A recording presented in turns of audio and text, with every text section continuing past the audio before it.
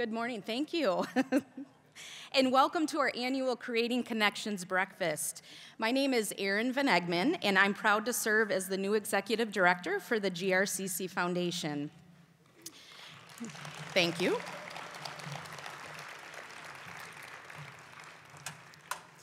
For so many of us, this is the event we look forward to each year.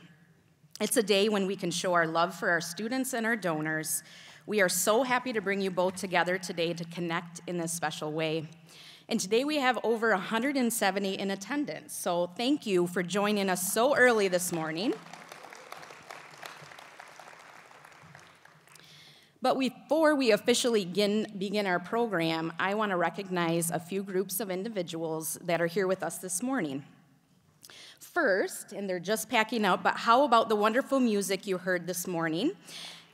Yes.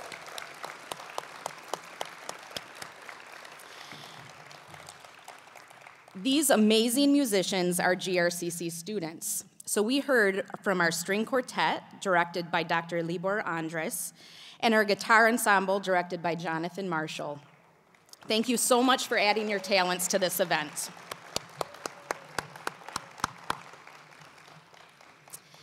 And next, I would like to recognize two groups of dedicated community leaders who work tirelessly on behalf of our students we serve.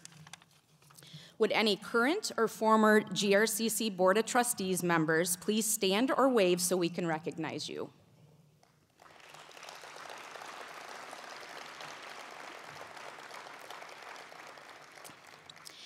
And would any current or former GRCC Foundation Board of Directors please stand or wave so we can recognize you?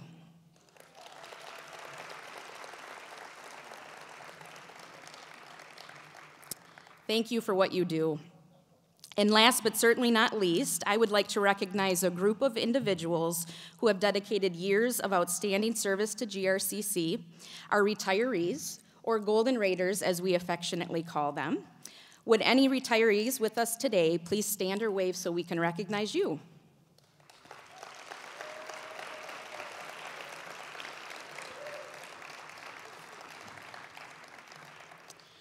So, this morning is about you, our faithful and generous donors, and our bright and resilient students.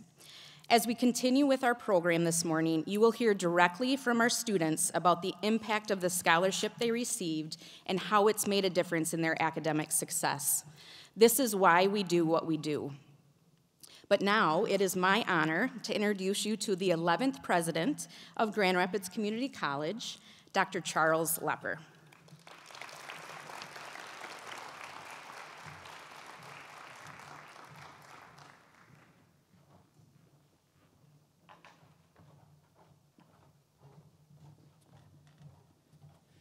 Good morning.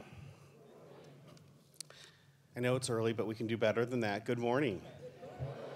Well, thank you all for being here and helping us to celebrate our students and their success, but also to say thank you to our generous donors who make so many things possible for our students. And I will say that already in my short time here, and in case you don't know, I, became the college's president January 16th. I will already say this is my second favorite event and the second is because next week's our commencement, and that will be our favorite. But with this celebration today and recognition today, part of why I say it's my second favorite is that we get to say thank you to our donors for helping to make a college education accessible and opportunities accessible for our students. And as you all know, education helps us all achieve that option or the opportunity. And it's not lost on me that without your support, we couldn't do what we do as a college in supporting our students and helping them achieve their dreams. So you're a huge part of that. And I just want to say, from the bottom of my heart, thank you um, for doing that. And I'm so, so proud of the work that we get to do here with our students. And our students are the thing that we're most proud of. And that's why commencement's my favorite event of the year and should be, is that we get to celebrate the success of our students and help celebrate them as they enter into the next phase of their life. So, without um, repeating myself too much, again, I just want to say thank you for your generosity. You help our students achieve their life goals.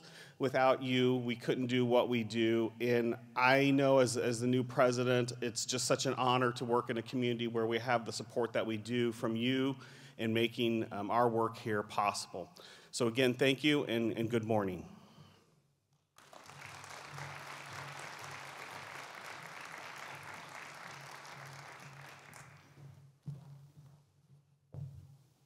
Thank you, Dr. Lepper. GRCC is lucky to have you. The next portion of our program is the opportunity to highlight a scholarship, but more importantly, highlight a generous donor who had a vision and a heart for helping students. The donor we are highlighting today is Phyllis Fratzke.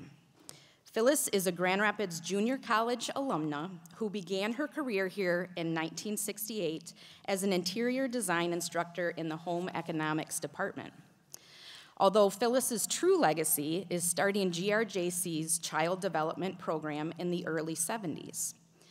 Phyllis saw a need to provide support for women who were re entering the workplace after having children. Phyllis also started the Phyllis Fratzke Child Development Scholarship in 1986 as part of the Million Dollar Faculty Club. This scholarship provides support to students who are pursuing a degree in early childhood education, as well as students whose children are enrolled in the laboratory preschool. In 2015, we had the privilege of naming a new building on campus after Phyllis, the Phyllis Fratzke Early Childhood Learning Laboratory. Phyllis, it's an honor to have a building on this campus bear your name. Phyllis is here with us today, joined by her daughters Karen Walker, who is also a retired GRCC professor, and Michelle Reynolds. Also with us today is Phyllis's scholarship recipient, Gretchen Tenheff. Thank you all for being here today so we can celebrate and thank you. And now I ask you to turn your attention to the screen to hear a bit more about Phyllis's impact and legacy at GRCC. I came back to JC, and my biggest problem was trying to find care for my children while I attended school. So I was very willing to help with these, trying to find uh, spaces for these children, but it was a big problem.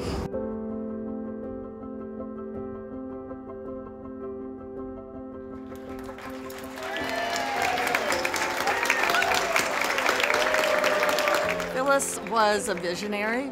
I give her such credit for planting seeds that allowed it to develop in the way that it did, because she was determined, um, never accepted anything less than excellence, really motivated the students she worked with, as well as the faculty and staff, to reach that level of excellence and expectation that she had for them. It's creating a pathway for more people to grow in the skill set needed to pour into these next generations of children coming up. I think that is, I think that's amazing to want to see change so much that you make it your legacy. So she did two things. She looked into how do we get childcare here on campus, but even more importantly, she looked at how do we prepare people to teach in those childcare programs. And when she established our program, she centered it around what was then the JC preschool, and its main purpose was to be a lab site with students. Oh, there you go. Oh, the bear is so happy. Like, okay, now you have a lab. I was like, what, what does that mean? How do you do lab in early childhood? And then I walked in and realized that we were actually going to be observing a classroom, like as it goes. I was like, oh my goodness, this is amazing. I received the Phyllis Fratzke Child Development Scholarship, which was really exciting for me because it just shows that someone else is also passionate about child development, as passionate as I am. It was really overwhelming. Um, it's really hard to go back to school when your family depends on your income and you have young kids to take care of, like in my case. It cleared mental space for me to learn scholarships like this help them to pursue James and then to be successful on that path. I think thank you seems so minimal, but it can make the world of difference. Thank you from the bottom of my heart. When you're donating your money and giving it to people like me, you're not only just pouring into my life, but you're pouring into the next generation of children as well that I will be teaching. So I just want to say thank you. I really, really appreciate it.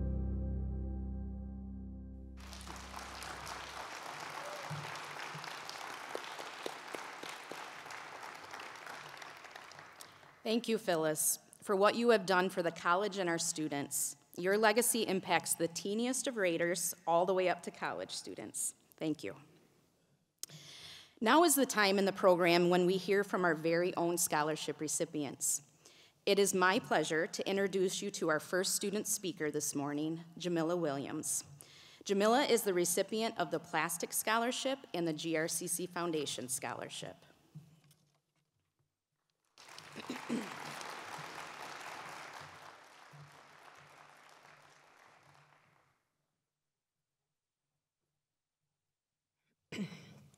Good morning. You know, someone once told me to break your fears is to participate in something that you are not comfortable in doing, and this is definitely one of the things that, that I've never done. It's a lot of people here. so I'm trying to shake off my, my nerves here, sorry. Um, my name is Jamila Williams, and I am definitely honored to be the recipient of the GRCC Foundation Grant and the Plastic Scholarship Grant. I also received a grant from the work, One Workforce Program. Yes.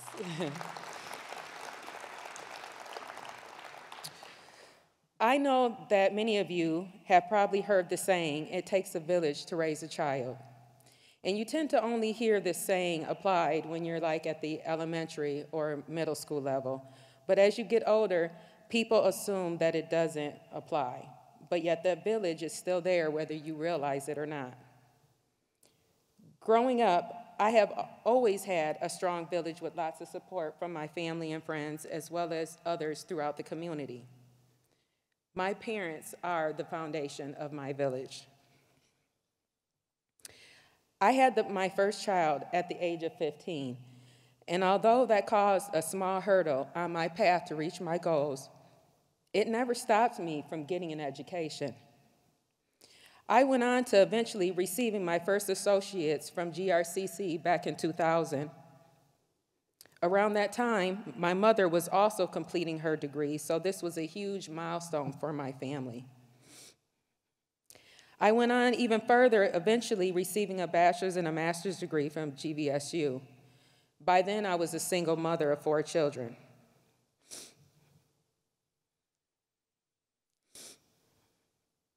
In 2013, an, an unfortunate event took me from society for eight years.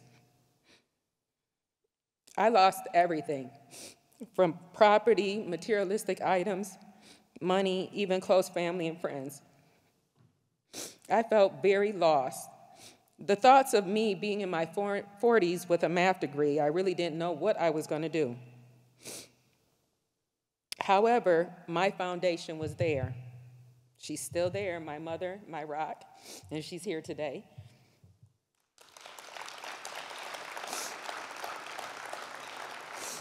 oh, I'm sorry. I told myself I wasn't going to cry. I tried so hard, sorry. my mother once told me that they may have taken your teaching certificate, but they can never take the knowledge and skills that you have embedded in you. She is always reminding me that I am a strong woman. As a returning citizen, the first door that was off, open for me was by Mr. Kenyatta Brame, who is also here today and is part of my village.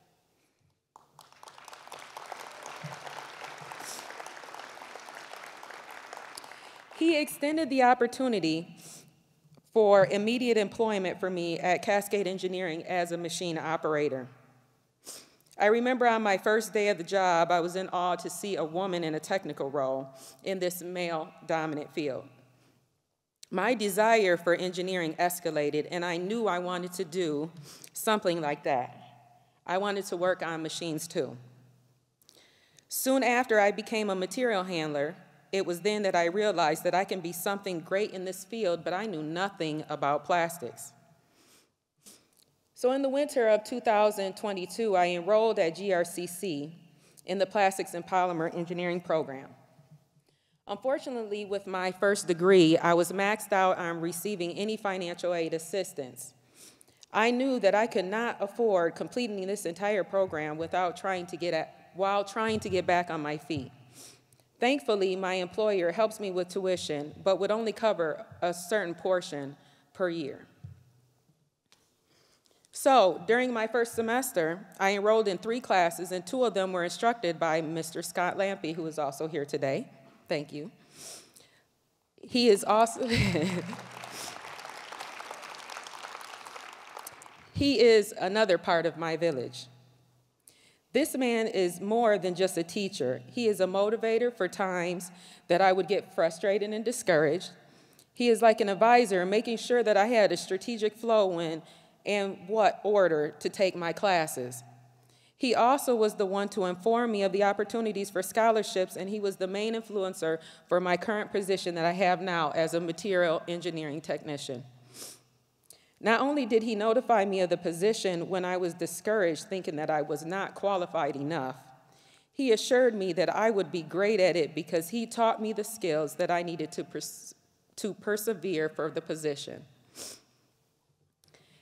As my village continues to grow larger with many others that I don't have time to highlight today, most of which are, not even part of my family, but are people who want me to be successful and achieve greater in life. Next week, I will be graduating with an associate's in plastics and polymer engineering.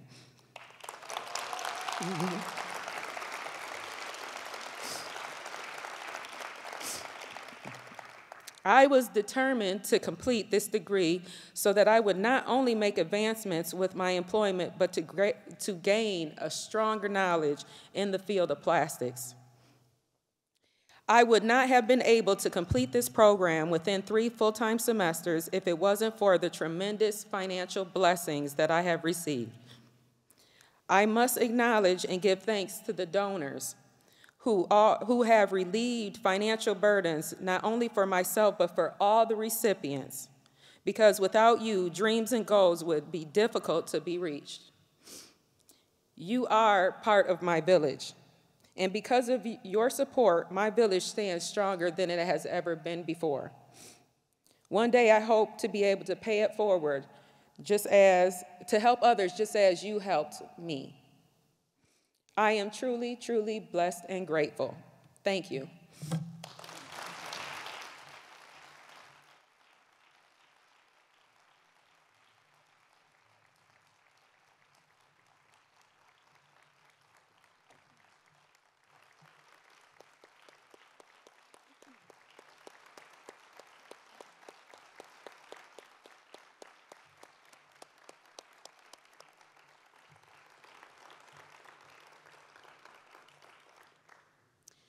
Thank you, Jamila, for sharing your incredible story of perseverance and resilience with us. I also want to add that Jamila's daughter currently attends GRCC and is a student in our Secchia Institute for Culinary Education, who also received a scholarship.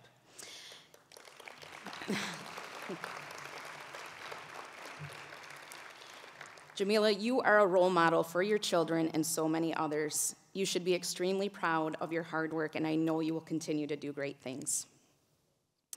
I would now like to introduce our next student speaker, Joel Reyes Hernandez, who is the recipient of the GRCC Foundation Scholarship. Joel?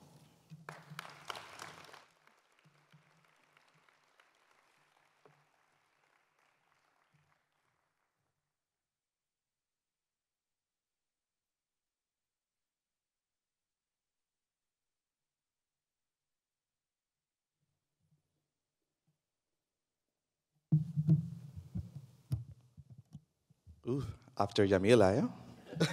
Can we close with her, please? Good morning, everyone. My name is Joel Reyes Hernandez. I'm 30 years old, and I was born and raised in the Dominican Republic. I am a GRCC student and a GRCC scholarship recipient. It is a pleasure for me to be here. As a student, my life faced changes, and challenges. We all come from different backgrounds, and that makes us unique and diverse. It was not in my mind to leave my country. I was determined to do my best work on my education and continue keep going. I will talk a little bit about my journey. I was forced to leave my country after I was assaulted in the street one night. While I was working to home from a long day of work and school, two guys on a motorcycle intersect me on a dark spot near to the main street. I was cocked to the ground and I couldn't understand why this was happening to me. I was, it was off is now the worst day of my life. I really felt so vulnerable, so fragile, so unprotected, just for being gay. After not feeling safe, I, I decided to leave my country. I came to the US in August 2020. I, I left everything behind and came as an asylum seeker. I came here to a new country with a different language, culture, and a lot of things to explore. After a year and a half living here, setting up my life, I decided to continue with my education, even though I knew it could be, it will be not easy for me. I started the process, and, and from the first time I walked into the RCC, I felt I belong here. Although I knew the experience could be a little bit, little bit more complicated for me because I was not eligible for financial assistance due to my immigration status. So I started work more hours, and there was a moment when I was having three part-time jobs and attending school full-time. Not easy. A student without family here or someone, uh, someone I can rely on, it was really challenging for me to keep going. I met Sarah Rose, an advisor, who told me about this scholarship. I did the application, and they awarded me with the GRCC Foundation Scholarship. I really want to let you know that what you're doing is giving, giving a great opportunity to those like me whose lives has been challenging, the opportunity to keep going in my education. Thank you for your generous support and for giving us hope. In closing, I want to thank you all for what you're doing. You are giving us the opportunity to continue our education. You are a change makers by giving others the chance to succeed in life. As a part of a represented community, I really appreciate what you're doing for all of us by opening the door to a better education.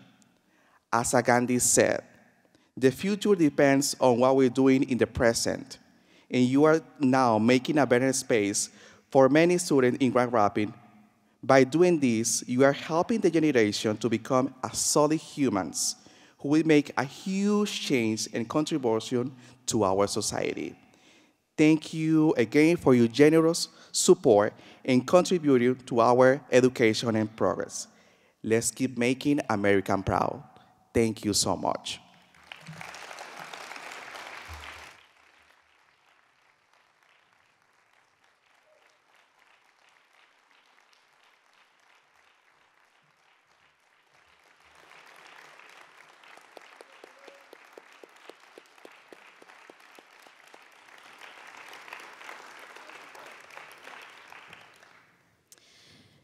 Joel, thank you so much for sharing your story with us. You were faced with obstacles that many of us may not have had the strength to overcome, but you did and are succeeding.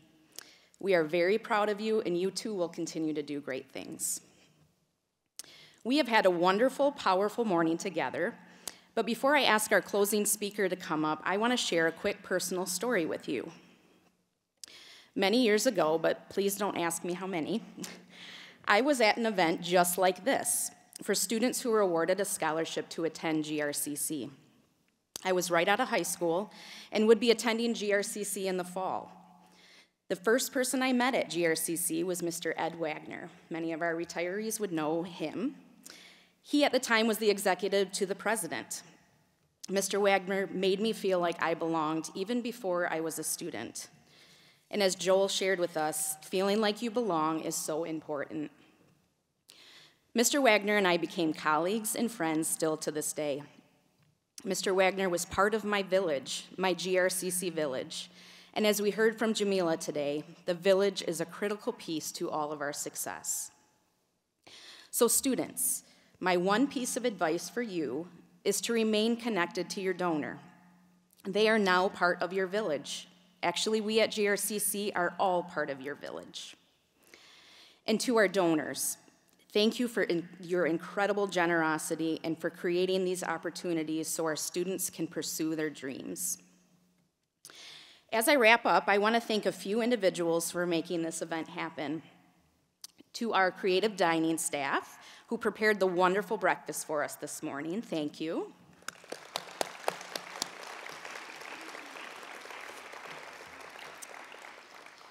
Our Media Technologies Department for producing the video we saw earlier today.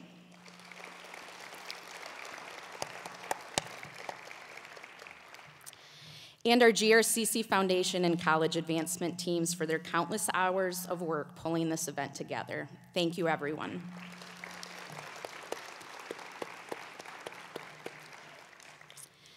And now, to close the program, it is my pleasure to introduce Nancy Ayers, Vice Chairperson of the GRCC Foundation Board.